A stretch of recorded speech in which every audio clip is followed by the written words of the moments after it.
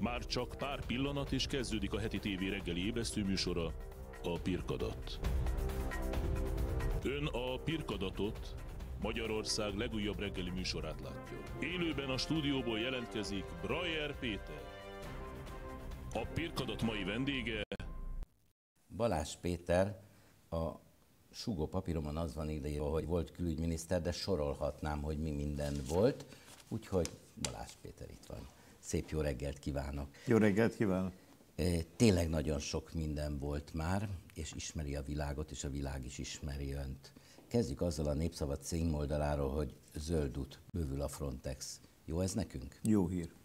Mindenképpen jó hír, ugyanis ugye Európa belül szabaddá tette az emberek mozgását, rengeteg ország között megszűnt a határ ellenőrzés, személyek határellenőrzés, ez a Schengen jövezet. Élvezzük, nagyon jó érzés, nem is kell útlevél, személy okmányjal. Én tegnap jöttem meg Írországból, és végig az átszállás beleértve mindenütt egy magyar személyigazolványjal átmentem. Számomra ez nagy eredmény, mert még emlékszem a útleveles vízumos időkre. Na most ahhoz, hogy ez a szabadság belül fennmaradjon, az kell, hogy a külső határokat közösen, megbízhatóan ellenőrizzük, kontrolláljuk. És ennek a segítő eszköze az EU által fenntartott szárazföldi és tengeri határvédelem. De ez csak akkor működik, ha mindenki benne van és mindenki akarja.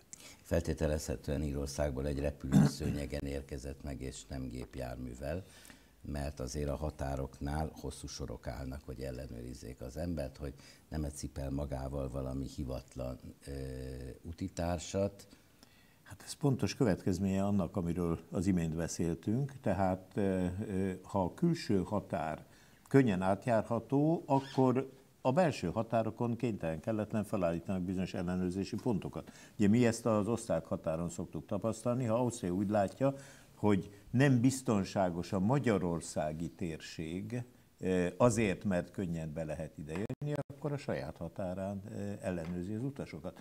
Ezt minden ország megteheti, egyébként Schengenen belül is visszaállíthatja a határ ellenőrzést, ha ennek komoly oka van. Az lenne jó, ha nem lenne komoly oka, és a Frontexről szóló hír ugye azt erősíti meg, hogy az Európai Unió egy közös segítő testületet működtet, ami aztán folyamatosan bővül, és anélkül, hogy beleszólna az egyes országok szuverén, saját nemzeti határőrizetébe, ha szükség van rá, oda tudja küldeni földön is, vízen is. A mellette lévő lap, a Magyar Nemzet címoldalán azt olvashatjuk, hogy globális elit ötletével kampányolnak a DK vezetői. No. Ez az amerikai Egyesült Államok mintájára készítendő Európai Unió, vagy mi ez? Ugye itt a, a forrás picit gyanús, mert nem biztos, hogy jól érette, vagy jól adja tovább, amit hallott. De az tény, hogy az egyik párt az Európai Egyesült Államok ötletével kampányol. Na most azt gondolom, Éveket hogy... foglalkozott ön az Európai Unióval. Mit gondol erről? Már kezdtem mondani, csak én gondoltam, hogy elások egy kérdést, hogy elhiggyék jó, a nézők. A kérdés hogy... jó, és nem térek ki előle, tehát én azt gondolom, hogy ennek nincs itt az ideje.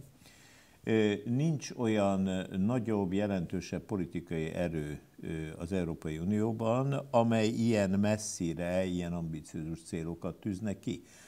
A nemzetállamok képezik a valóságot, itt mindenkinek az identitása nagyon erősen kötődik a kultúrájához, a nyelvéhez, az országához. Ha valakit megkérdezek bárhol Európában, mondjuk egy nemzetközi repülőtéren, hogy maga kicsoda, valószínűleg azzal kezdő, hogy én francia vagyok, én olasz vagyok, én magyar vagyok. És utána kezdi mondani az egyéb nagyon fontos dolgokat, amiket ő fontosnak tart. Na most ezzel együtt egy kampányban, mindegy, hogy az európai vagy parlamenti helye van mindenféle nézetnek, ez a pluralizmus lényege, hogy amit többen támogatnak, hadd legyen ott a választékban, döntsék el az emberek, hogy mire szavaznak, amíg ez nem társadalom ellenes, amíg nem veszélyes más emberekre nézve. Esetleg közös célokat szolgál. Én azt gondolom, hogy a palettán ez a szín is elfér, csinálják, mondják, és nézzük meg, hogy hányan szavaznak Hát ha erről az jut eszembe, hogy ugye 40 évig a sivatagba barangoltunk, mert az örökkévaló azt sugalta, hogy nem vagyunk kellőképpen összeforva, túl anarchisztikusak vagyunk, és kell egy kis generációváltás ahhoz, hogy alkalmasak legyünk arra, hogy a nekünk ígért területet belakjuk. Tudja, hogy most éppen kivonulunk mindjárt majd holnap Egyiptomból, és mégis nagyon sokan inkább szerettek volna rabszolgák maradni. Hogy tükröződik mindezt a szabadságot, ami egy állati drága dolog, nehéz megélni, problematikus, hogy képződik el ez a mai magyar társadalomban? Mennyire, mennyire szeretnénk élni azzal, amiről álmodtunk, megvalósult-e az, amiről álmodtunk, hiszen halára gürizte magát, dolgozott ét nappal átéve az Európai Unión, hogy mi ennek a szerves tagjai legyünk. Bevált ez? No, a 40 év még nem telt le. Ezt láthatjuk a, a mindennapjainkban is.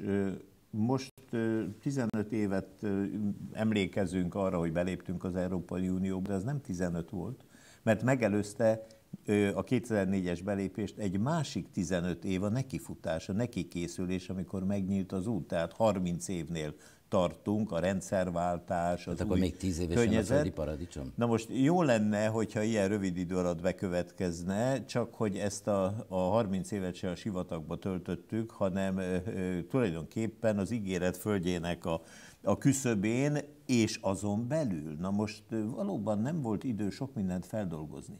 De ez a vidék, nem csak Magyarország, az összes szomszédja, de még ki lehet terjeszteni, hogy mennyi feldolgozni való akadt meg a torkunkon, hiszen ha csak a múlt századot végiglapozzuk, ugye korábbi elődeink még a monarchiában eszméltek, és ott néztek körül, és ott szocializálódtak, ami egy, egy egészen saját... Ezért a monarchia nyomait még ma is magunkon viseljük, Pontosan. az adminisztrációba, a fölösleges körökbe. A nosztalgiákban nagyon sok minden visszajön azokból, hogyha valakit kicsit érdekel, előveszi a millennium környéki romantikus irodalmat, újságokat, ma is visszaköszönnek, van bennük egy csomó szamárság, van benne szép dolgok, akkor utána jön ugye a, a Csonka Magyarország, a Trianon, nincs feldolgozva a mai napig, nincs megemészve, nem rázódott a helyére, utána jön a második világháború, a szovjet megszállás. Álljunk itt meg és akkor a Trianonnál. Tovább a egy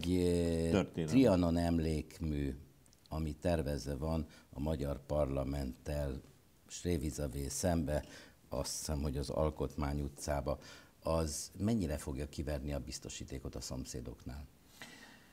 Hát nézze, Trianonra emlékezni kell, és ugye arra is vigyázni kell, hogy körülöttünk ez mindenkinek örömünnep, ugye azért ezt nem árt, hogyha a magyarok... Hát mert egystandoltak egy jó darab. Látják, belőle. még az osztrákok is ugye Burgenlandot magukhoz ragadták, egyedül a magyaroknak egy veszteségnek az emléke. Na most, egy feldolgozatlan veszteség. Egy abszolút feldolgozatlan veszteség. Jó lenne, hogyha ezt valahogy közösen tudnánk a helyére tenni, jó lenne, ha nem örvendeznék túl a dolgot a szomszédok. A és nem... állampolgárság ez nem egy megoldás, hogy... Nem. Nem. Az egyének számára lehet egy menedék, egy identitás megerősítő, de de a közösség számára nem. Na most az emlékmű dolga, ugye az emlékmű nagyon furcsa. Tudnélik, először is föld alá megy az emlékmű a tervek szerint, tehát ez az alig látható. Ez nem egy emlékmű. Ugye ez egy, ez egy pince lesz, ahova lemennek. Na most az emlékmű városok nevét fogja felsorolni. Nagyon erősen a, a, az amerikai Vietnám emlékműre hajaz, tehát hogy kiírunk, kiírjuk azt, amire emlékezzünk, ott személyeket, itt városokat. Területi revíziós ízű.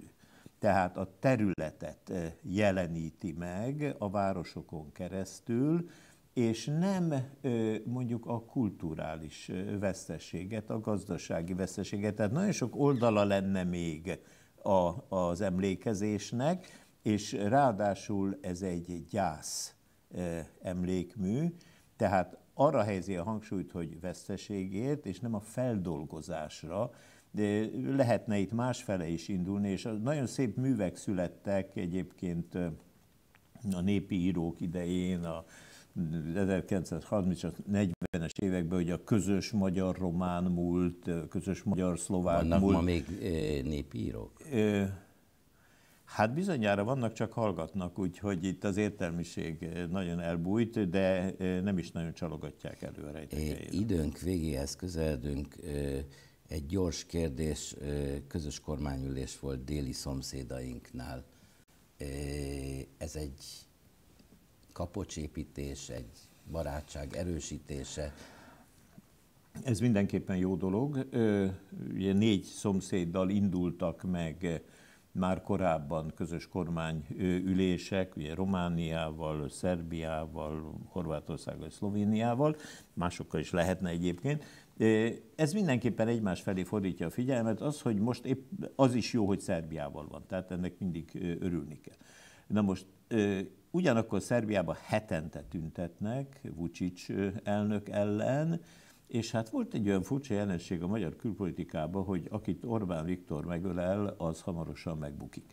Na most én nem kívánom a szerbeknek, hogy káoszba fulladjon, de azt kívánom a szerb demokratikus erőknek, hogy az ő többségi akaratuk győzzön, és miközben a két oldalú kapcsolatok virágzásának én is örvendek, nagyon jó lenne, hogyha Szerbia európai irányba fordulna arról az útról, amit pillanatnyilag az utcán tüntetők tömegei kifogásolnak. Bízunk benne, hogy az ünnepek békések lesznek, és engedje meg, hogy a televízió nézők és magam nevében és a stáb nevében kellemes húsvéti ünnepeket és kóser lepészakot kívánjak önnek Viszont és kívánom a családnak. Előzetesek, és már is következik Szabó Barnabás, a KKI Anglia szakértője. Tőle megkérdezzük a lehetetlent, és megpróbáljuk borítékolni a válaszait. Tartsanak velünk!